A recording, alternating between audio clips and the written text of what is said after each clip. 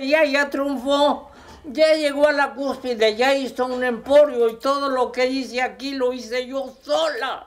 Sola, nadie me dio un peso ni una mano. El director mexicano José Pablo Estrada Torrescano visitó Toronto para el estreno mundial de su documental Mamacita, dedicado a su abuela, quien vivió una infancia difícil y gracias a un negocio exitoso sacó adelante a sus ocho hijos.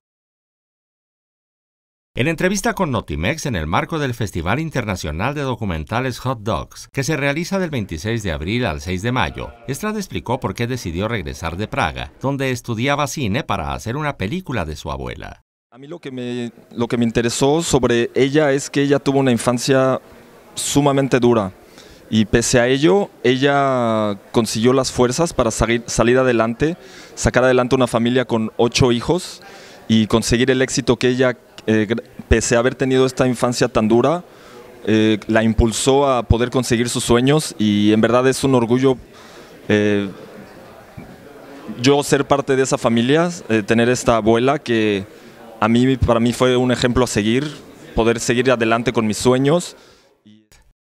En el documental, José Pablo le da una sorpresa para preparar a su longeva abuela a morir en paz. Yo creo que es una película que que va a poder inspirar a la gente en todo el mundo y por eso es que a mí me da mucho orgullo que, que la película se presente a nivel mundial.